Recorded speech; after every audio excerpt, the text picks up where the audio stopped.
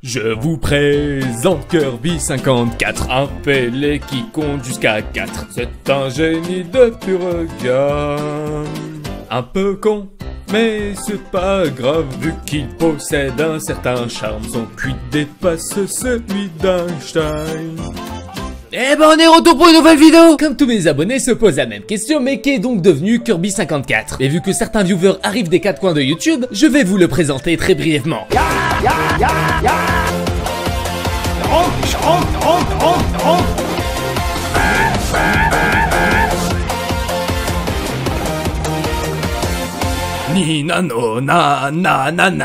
Euh pardon. Kirby 54 peut s'apprêter à un youtubeur totalement basique qui fait des vidéos à propos de sa collection. Voire même des vidéos sur des jeux vidéo. Bon bref le terme de gameplay serait beaucoup plus approprié. Mais malheureusement qu'est-ce qui fait le charme d'un youtubeur? Soit sa personnalité soit son style ou son skill. De son côté Kirby ne possède pas les deux derniers. Il possède surtout le premier dont la personnalité. Et sans perdre aucun moment je vais citer son plus gros problème. Car oui derrière son image de personne assez maladroite et neutre Kirby a une certaine passion Bien que cette passion n'est pas exhaustive actuellement sur sa chaîne, il la montre largement sur son petit compte Twitter. Et c'est notamment démocratisé grâce à cette vidéo. Bonjour tout le monde, bienvenue pour un nouveau top, pas un top 10 cette fois-ci mais plutôt un top 5 des personnages féminins issus des jeux vidéo non humanisés les plus sexy. Ok d'accord, donc là pour l'instant c'est une personne tout à fait normale qui fait une vidéo avec un titre assez aguicheur. Mais on est sur YouTube, ce n'est pas ça que l'on va juger. Après je vous propose ces autres extraits. Il va y avoir des paires de fesses et des paires de seins dans cette vidéo, mais surtout, pourquoi humaniser?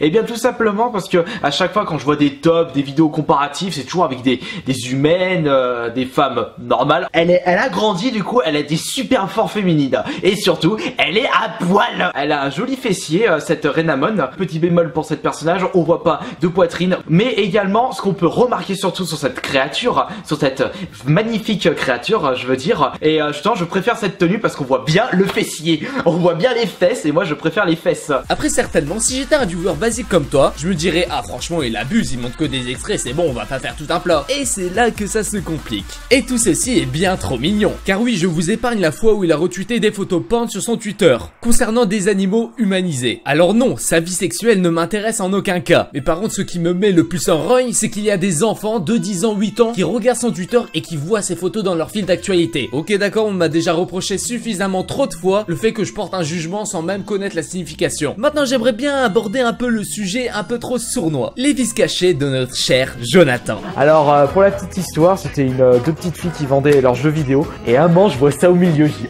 oh alors je dis bonjour, euh, vous le vendez combien? Elle me sort 15 euros. Mais ça c'est un vieux jeu. D'habitude je, les achète à 1 euro les jeux PS. hein. Elles m'ont elles m'ont dit ah bon c'est vrai? Oui c'est vrai. Pour vous faire plaisir je vous en propose pour 3 euros les gars. Et ils m'ont dit oui.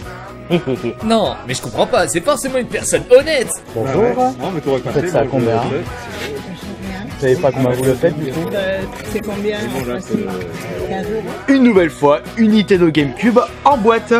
Prix de départ de cette GameCube, 15 euros. Mais le fait qu'il manquait une manette, ça m'a permis de plus facilement négocier le prix. Et j'ai pu avoir euh, cette GameCube pour 8 euros au lieu de 15 euros. Et bien évidemment, ça reste qu'un exemple parce que évidemment, il a supprimé toutes les autres vidéos. Et encore, je vais passer les moments où il fait un excès de colère ou un excès de folie tout en pétant un record du monde. Si vous l'avez bien remarqué, cette vidéo a été réalisée sans aucune insulte. Car oui, la méchanceté gratuite n'est pas toujours la meilleure des solutions. Et cette vidéo est assez différente des formats des autres CDG. Car à la base des bases, c'en est pas du tout un. Je voulais juste éclairer les personnes qui sont fans de Kirby. Car c'est une personne qui en prétend être une autre alors que pas du tout. J'espère néanmoins, tout en gardant le cadre sérieux de cette vidéo, vous avoir éclairé sur Kirby 54. Sur ce, merci d'avoir visionné cette vidéo. N'hésitez pas à lâcher un commentaire et à me dire qu'est-ce que vous pensez de Kirby 54 réellement. Et moi je vous retrouve pour une prochaine vidéo. Ciao